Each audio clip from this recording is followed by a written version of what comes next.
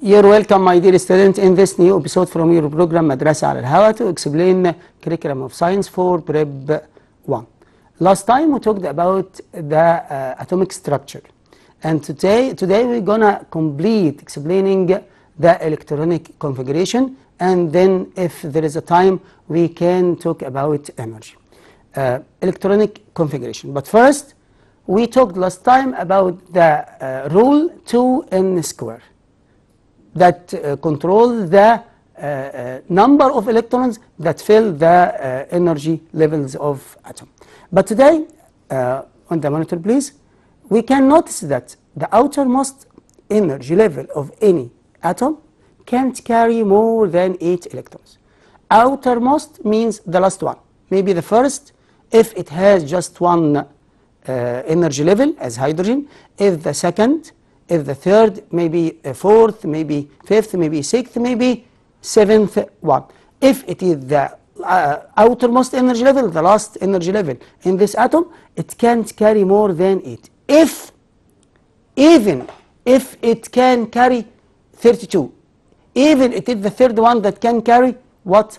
18. But if the third one is the outermost energy level, it can't carry more than 8 electrons. Okay, so now the question is make electronic configuration. 4. Number 1, sodium, Na. 2, calcium, Ca. 3, argon, uh, Ar. Sodium, Na. Sodium, Na is written like this 11 23 first what's meant by Na it is the symbol of sodium that consists of two letters first one is capital and the second is small it comes from natrium the Latin word that means sodium what's meant by 11 it is the atomic number that means number of protons or number of electrons in the atom. What's meant by 23? It is the mass number. That means number of protons plus number of neutrons. But here number of protons only.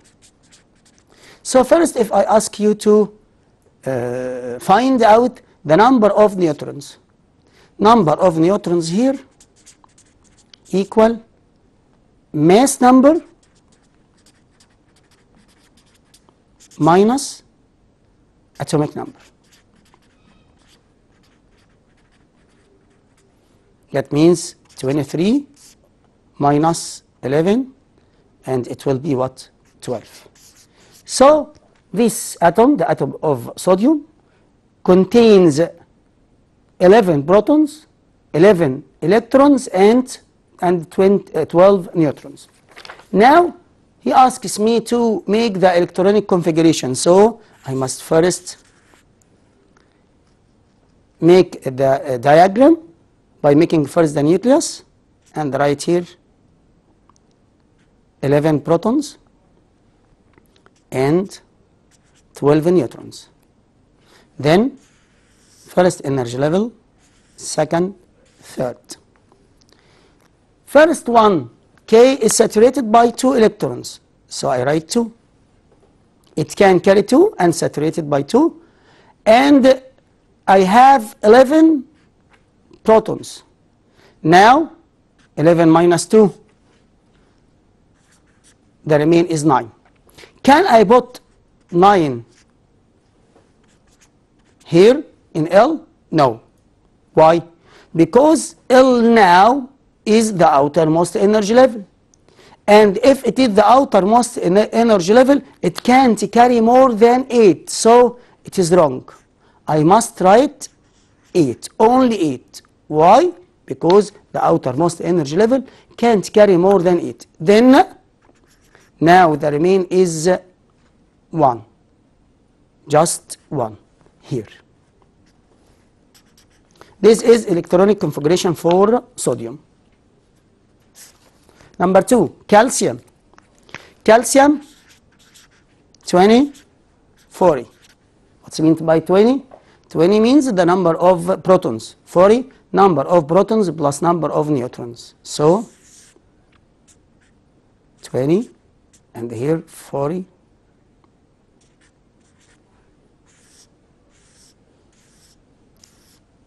K L M N. K saturated by 2 L saturated by 8 now I have 10 why 8 here? Because now it is the outermost energy level. But now there are 10 Uh, can I put 10 here? No.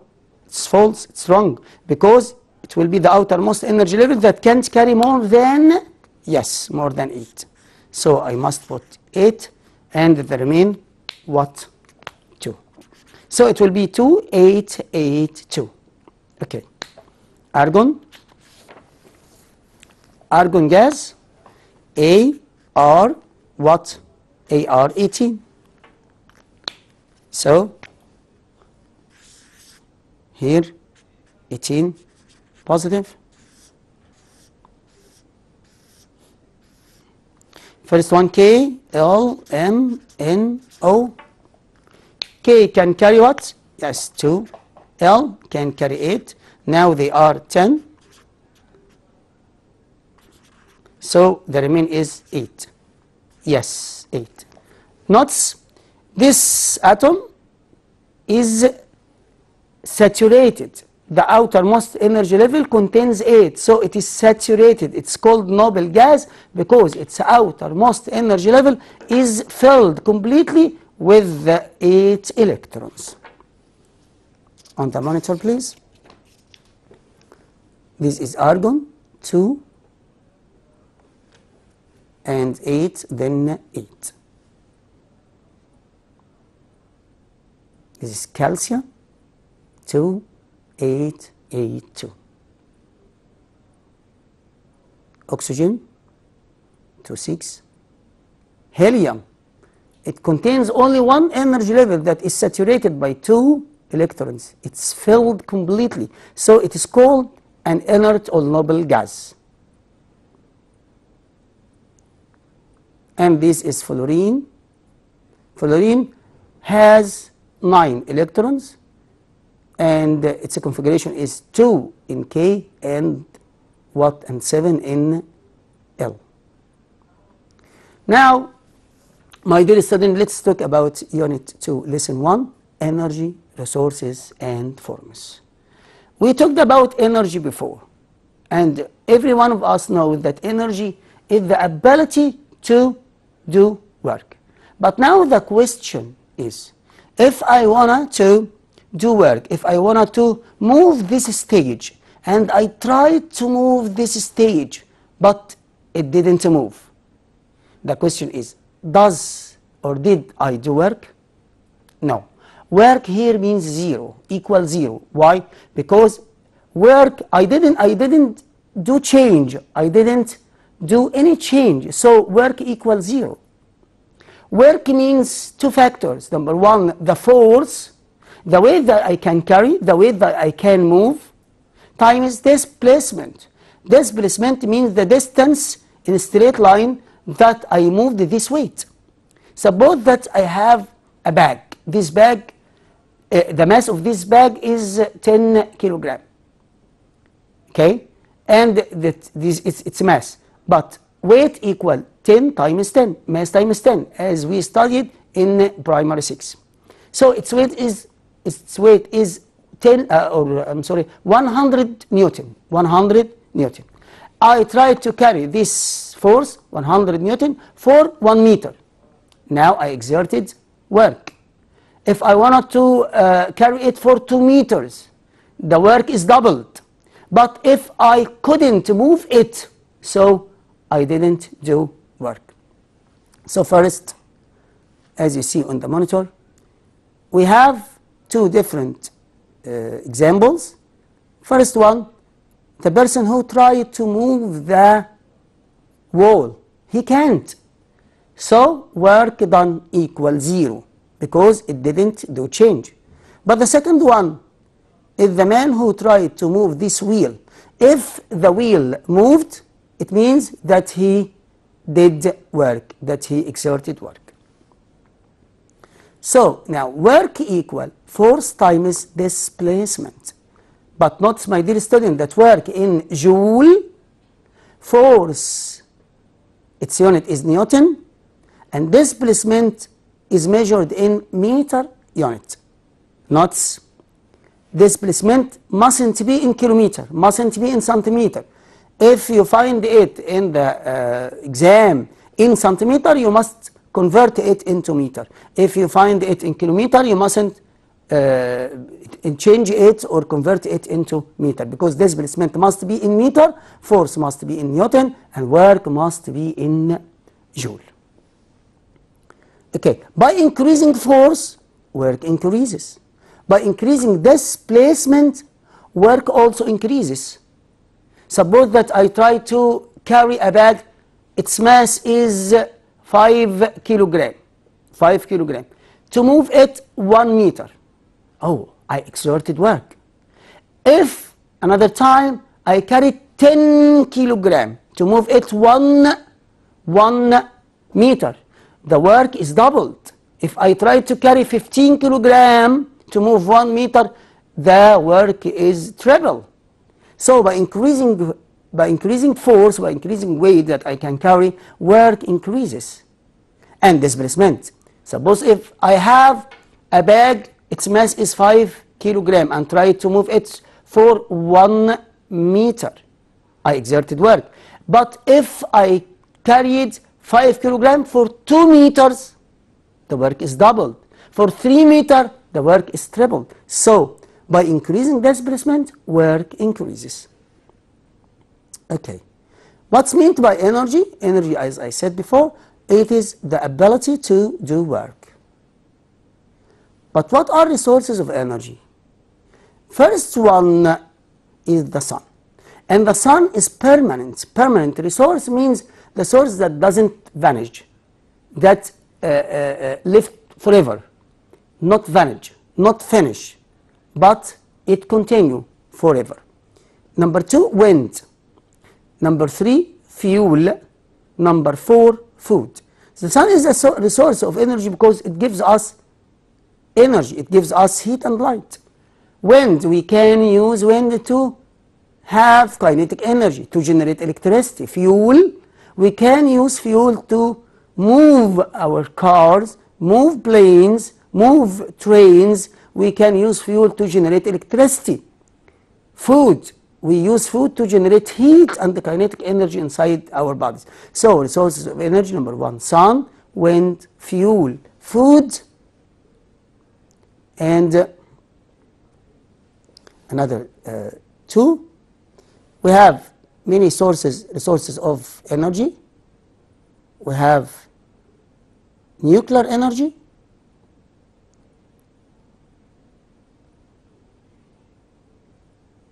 we have nuclear energy.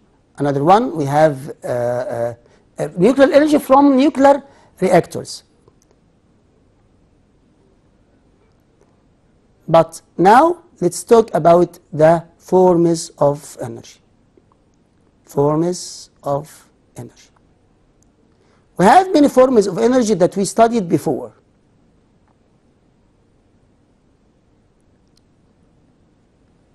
As we see on the monitor. This is number five, movement of water and nuclear reactions.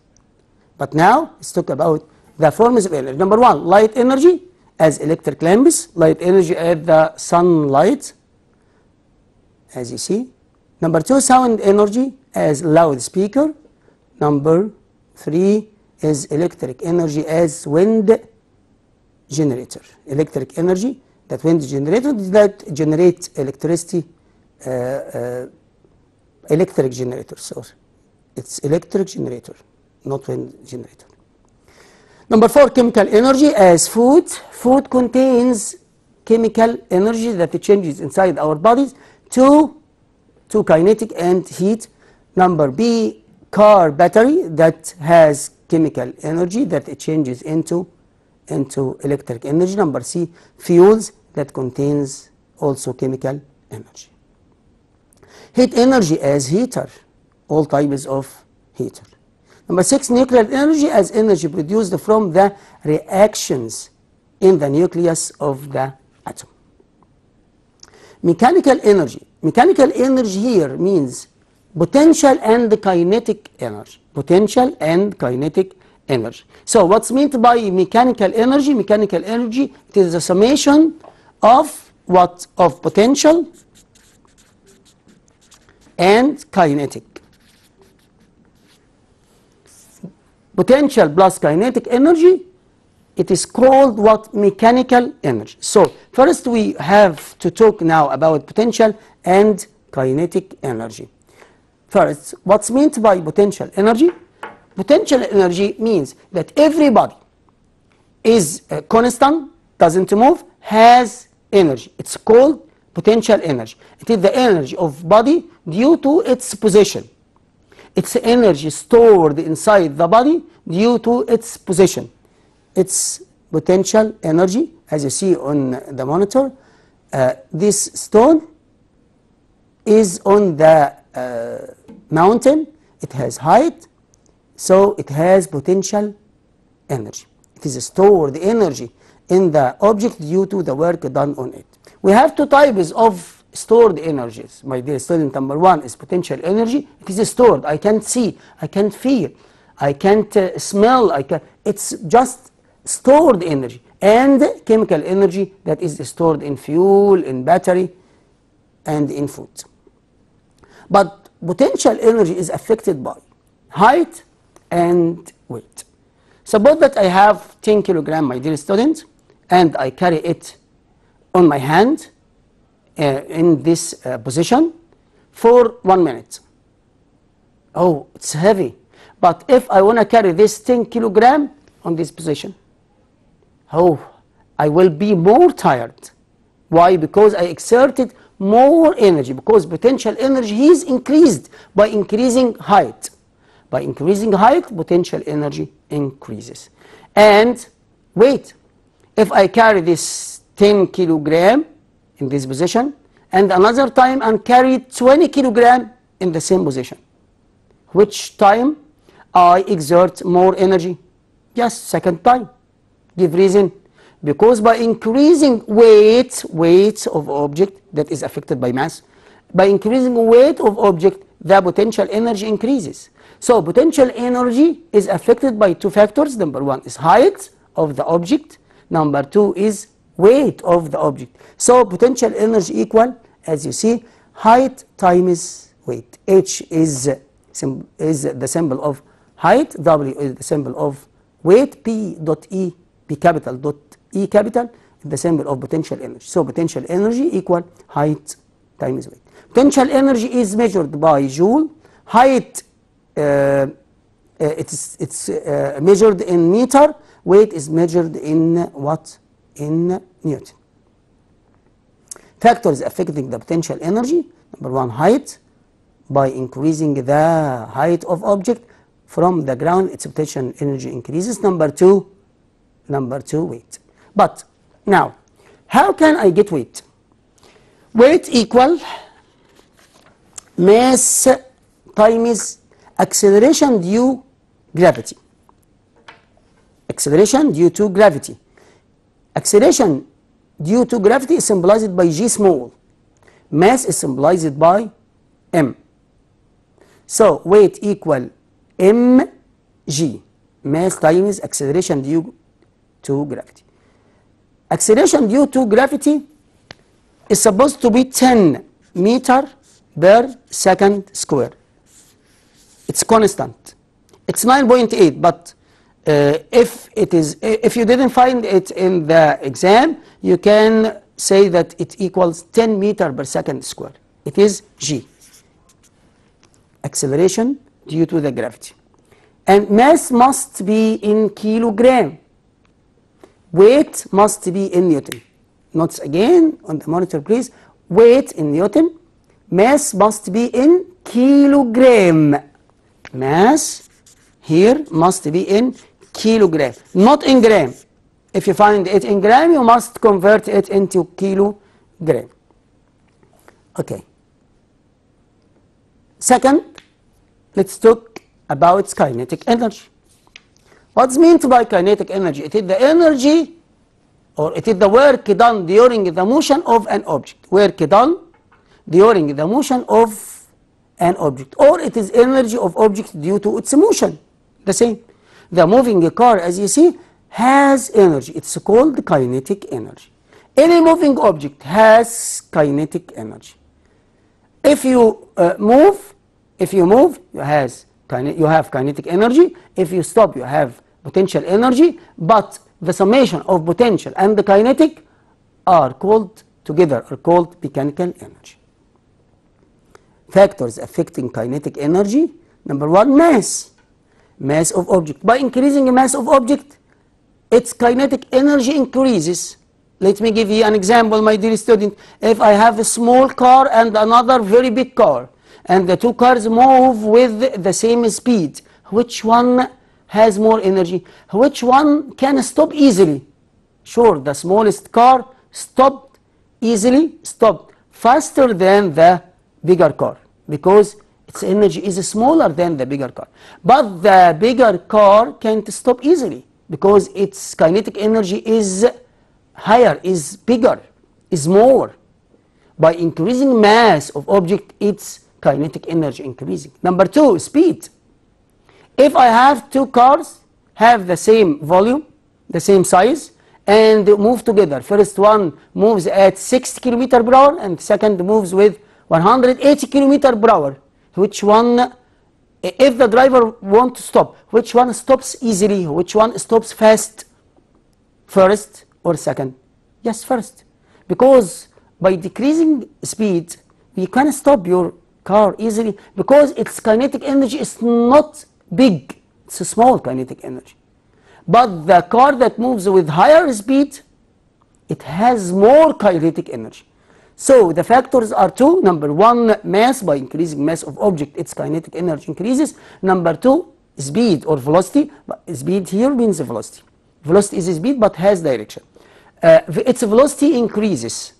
Okay, by increasing velocity, its kinetic energy increases. On the monitor, please, factors affecting kinetic energy, mass of object. By increasing mass of object, its kinetic energy increases. Number two, velocity of the object. By increasing the uh, velocity, the kinetic energy increases. So, kinetic energy equal mass half mass velocity square. Half mass velocity square. Okay? Half times mass, but mass half half mass velocity square. Mass here in kilogram, velocity in meter per second square. Kinetic energy. Now let's go to the uh, this question. This it's not easy. An object whose mass is 8 kilogram. Mass equal 8 kilogram. It's in kilogram. Yes, it's okay. It's good. Was thrown up until it reached its maximum height. This is the object. Its maximum height at 15 meter. Above the ground. Above the ground. Its velocity, find its velocity. Now he needs what? He needs velocity at 3.75 meter height. Now he gave me mass and already I have gravity acceleration it's constant 10 meter per second square and we have uh, height 15. How can I get mass? I can't get mass even I have kinetic energy that equal half mass velocity square but I don't have kinetic energy. How can I get kinetic energy first? Kinetic energy plus potential energy equal what? Mechanical energy. Mechanical energy, any, any position equal mechanical at any position. And potential energy at the top equal kinetic energy before reaching the ground. So mechanical energy equal potential at the top. So if I got potential at the top, I can get mechanical energy. So potential energy equal mgh. m here is 8 times 10 times 15.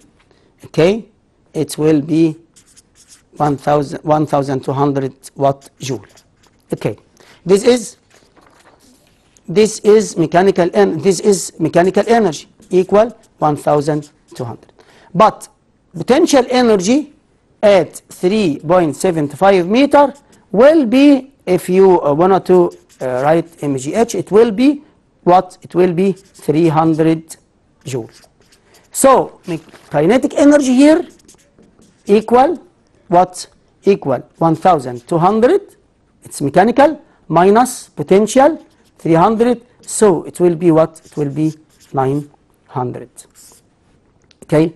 So uh, kinetic energy equal half mass velocity square. So velocity square equal kinetic energy divided half mass so velocity equal root square of kinetic energy divided half mass. And I have now kinetic energy and I have mass, so I can easily get uh, velocity. Now the time uh, is out, so I have to uh, say goodbye. But before saying goodbye, I have to say uh, wait for us because uh, after me, directly with Miss uh, we will study uh, science curriculum for second uh, prep. Thank you and goodbye.